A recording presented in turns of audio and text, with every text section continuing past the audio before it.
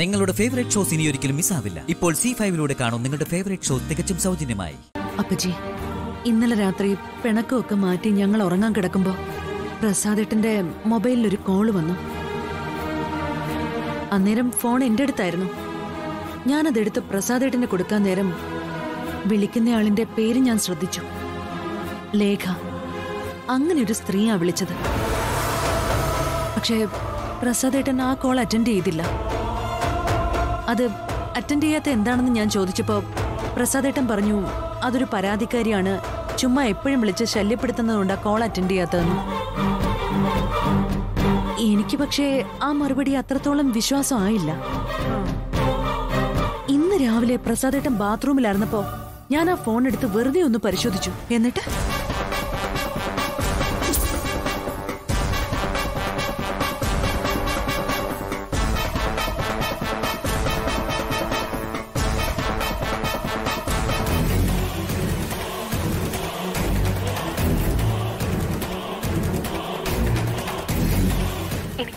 കാണണം.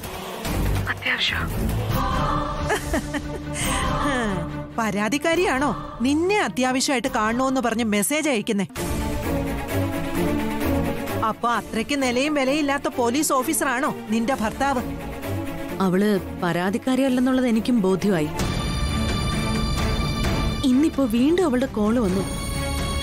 ഞാനത് രണ്ടും കൽപ്പിച്ച് അറ്റൻഡ് ചെയ്തു. എന്നിട്ട്?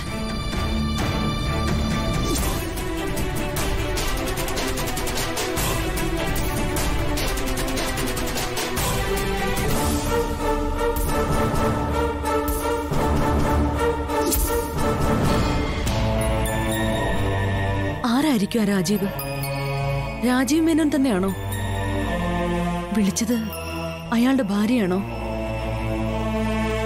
അയാളുടെ ഭാര്യയുമായിട്ട് പ്രസാദേട്ടന് ബന്ധമുണ്ടെന്നാണല്ലോ അയാൾ പറഞ്ഞത്. അപ്പോ അയാളുടെ ഭാര്യ ആയിരിക്കാനാണ് സാധ്യത. ആ കോൾ കട്ട് ചെയ്തതിന് ശേഷം ഞാൻ അങ്ങനെ ഓരോന്ന് ആലോചിച്ച് നിൽക്കുമ്പോ പ്രസാദേട്ടൻ കയറി വന്നിട്ട് എന്റെ കയ്യിൽ നിന്ന് ആ ഫോൺ വാങ്ങിയിട്ട് അവളെ തിരിച്ചു വിളിച്ചു. അവൾ അവിടെ നിന്ന് എന്തൊക്കെയോ പറയുന്നത് കേട്ടിട്ട് എന്നോടൊരു വാക്ക് പോലും പറയാതെ പ്രസാദേട്ടൻ അവിടെ നിന്ന് ധൃതിയിൽ പോവുകയും ചെയ്തു. അപ്പൊ അവളുടെ കോൾ വന്നിട്ടുള്ള പോക്കാണ് ഞാൻ കണ്ടത്. എന്റെ പൊന്നു ദുർഗേ ഇതിലിനി സംശയിക്കാൻ ഒന്നുമില്ല. ഇത് രാജീവ് മേനോന്റെ ഭാര്യ തന്നെയാണ് അവളുമായിട്ട് തന്നെയാ പ്രസാദ് ബന്ധം പുലർത്തുന്നത്. നീ അടുത്തുള്ളത് അടുത്തുള്ളതുകൊണ്ടാ ഇന്നലെ അവൻ അവളുടെ കോൾ അറ്റൻഡ് ചെയ്യാതിരുന്നത്. എന്റെ ദുർഗെ നിന്നെ പറ്റിക്കാനാ അതൊരു പരാതിക്കാരിയാണെന്ന് പറഞ്ഞത്. ഇപ്പൊ കണ്ടില്ലേ അവളുടെ കോൾ വന്നപ്പോ നിന്നെ ഒന്ന് മൈൻഡ് പോലും ചെയ്യാതെ വാലിൽ തീ പിടിച്ച പോലെ ഓടിയത്. അവൻ നിന്നോട് ഇന്നലെ കാണിച്ച സ്നേഹമൊക്കെ കപട സ്നേഹമാ. എന്റെ ദുർഗെ അവന് നിന്നോട് യാതൊരു സ്നേഹവും ഇല്ല ആത്മാർത്ഥതയുമില്ല. നീ അവനെ വിശ്വസിക്കേ ചെയ്യരുത്. അവനിപ്പോ ആ രാജീവിന്റെ ഭാര്യ മതി. നിന്നെ വേണ്ട.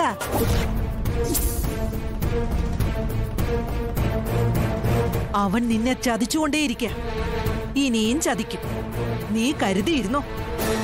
അധികം വൈകാതെ നിന്നെ അവൻ കറിവേപ്പല പോലെ വലിച്ചെറിയും. നോക്കിക്കോ.